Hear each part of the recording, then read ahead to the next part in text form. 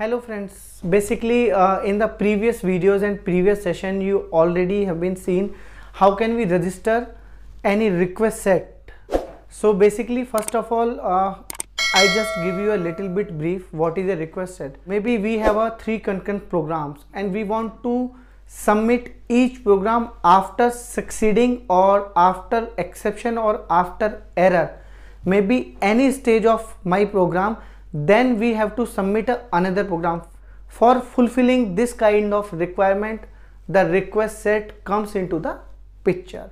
So guys in the previous section we already made videos for you. How can we create a request set?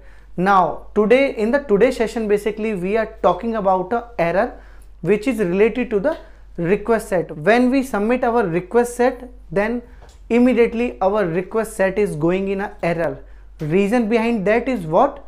Basically if we are click on the log section of that particular request set and we have seen this error. What is this error? The stage registered as the first stage of your set is invalid. It means any stage of our request set is maybe invalid. So guys how can we fix that? Just see in the lab section so that you clear your concept but before going to the lab section I will tell you why this error is comes. Whenever we define our request set there are multiple stages in that. So from where our request set start to reading a concurrent program basically we missed out that particular request or that particular request name in our staging window by which this error will come. So for reducing this error, you have to define your stages properly and give the first stage from where our request will start to read our requests. So guys, just go to the lab section and see how can we fix that. Hello friends, we are in the lab section and first of all we are going to submit a request set and see how we can generate this error then after we are going to fix the same. So for submit a request set just go to the request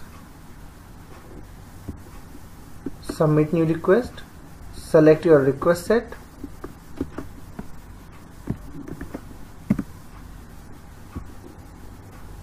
Fill your parameters and just submit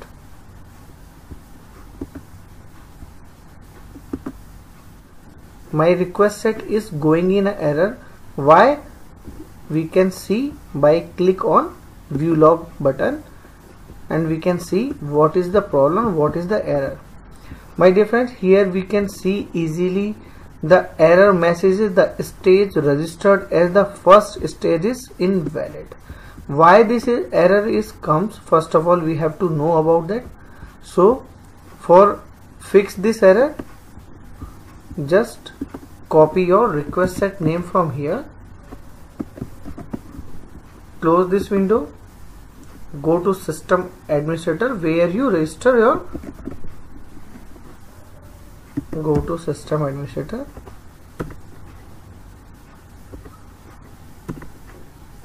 Select request set window where you define your request set. Just query your request set and directly go to the link stages window. My dear friends here we forget the first stage means whenever we are going to submit our request set our request set start reading my program one by one but we are not giving here the first program name from where my request set start reading my program. That's why this error is coming. So here I am putting my first program name. Whenever we submit our request set the first program from where it will start the reading or it will start the submitting program. This is my first program. So just click on done or save and again I am going to submit my request set. We'll see. This error will not come again.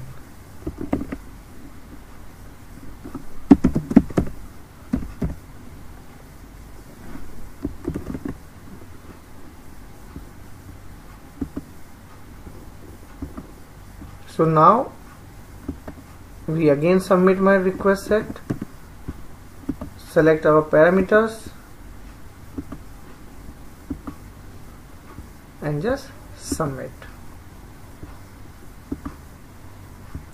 What